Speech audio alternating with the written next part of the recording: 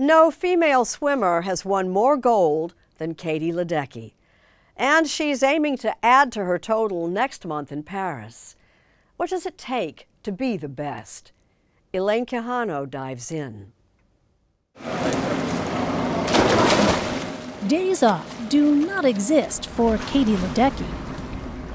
How much time are you spending in the water? I swim nine to 10 times a week for two hours at a time.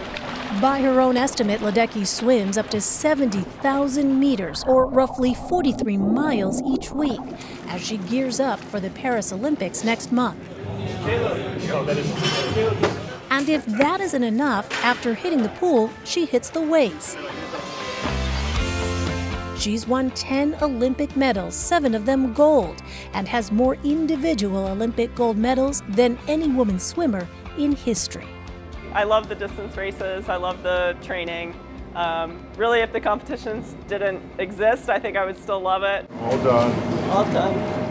Anthony Nesty has coached her since 2021. How good is Katie Ledecky? Well, Katie's probably the best female swimmer ever. Nesty is a pioneer himself. The first black man to win an individual Olympic swimming gold medal.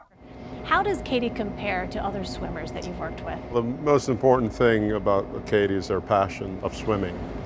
I think she enjoys the grind more than competing, which is the day to day, the week to week, the month to month. She gives you 100% all the time. Ledecky has simply loved being in the water from the time she first jumped into a pool as a little girl.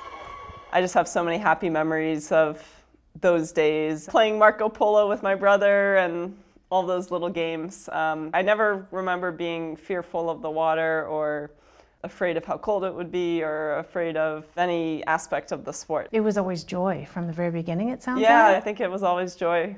That passion runs in the family. Her mother, Mary Gen, and older brother Michael swam competitively. By age 12, Katie Ledecky was out swimming other kids at a local swim club near her home in Bethesda, Maryland.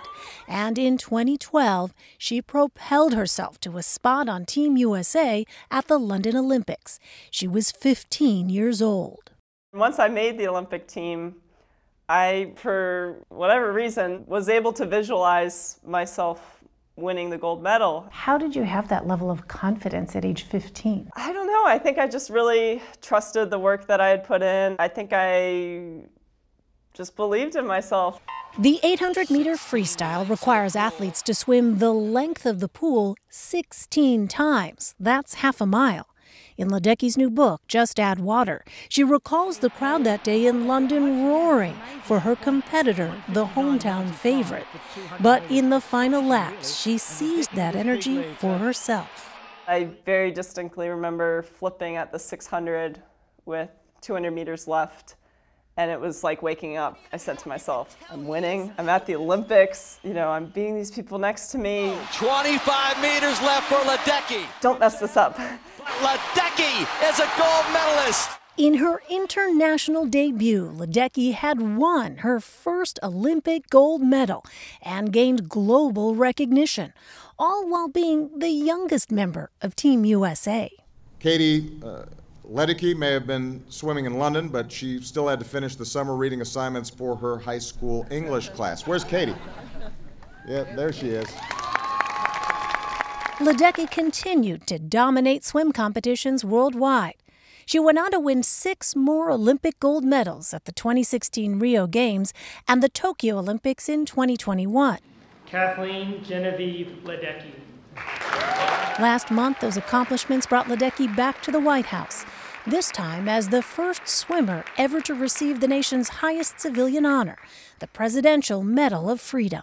Katie Ledecky is the most decorated female swimmer in history, with 10 Olympic medals and counting. But recent revelations suggest Ledecky might have earned one more gold medal. In April, the New York Times reported 23 Chinese swimmers, including two who helped defeat Ledecky and her teammates in a relay race, had tested positive for a banned substance just months before the Tokyo Games. Chinese officials say the swimmers inadvertently ate contaminated food. The World Anti Doping Agency declined to take action. In this instance, it doesn't seem like everything was followed to a T. So I'd like to see some accountability here. I'd like to see some answers as to why this happened the way it did. And I'd really like to see that steps are taken for the future so that we can regain some confidence in the global system. And do you think the results of 2021 need to be rescinded, re examined? What would you like to see happen there? I mean, I think the whole case has to be re-examined independently and thoroughly and all the information needs to be out there. In a statement to Sunday morning, the World Anti Doping Agency said it found compelling scientific evidence that pointed exclusively to the fact that this was a case of no fault contamination and not doping. WADA followed every process and line of inquiry when reviewing this file. WADA says a new review is underway but there's unlikely to be a resolution before the Paris Olympics, less than eight weeks away. It's hard going into Paris knowing that we're going to be racing some of these athletes, and I think our, our faith in, in some of the systems is at an all-time low. Um, you try not to think too much about when you're actually racing, and the best thing to do is to just go out there and try to win. And it's tough when you have in the back of your, your head that it's not necessarily an even playing field. Ledecky is 27 years old now, and even as she focuses on Paris, she's already looking ahead to 2028, when the Olympics are set to take place in Los Angeles. I think 2028 would be an incredible cap on my career. I don't even want to say that at this point because who knows, I could get to 2028 and say, no, I don't want to be done yet. Um, I want to keep going. As you're watching this, Katie Ledecky is scheduled to be back in the pool, just as she was yesterday and will be again tomorrow, savoring every bit of the grind.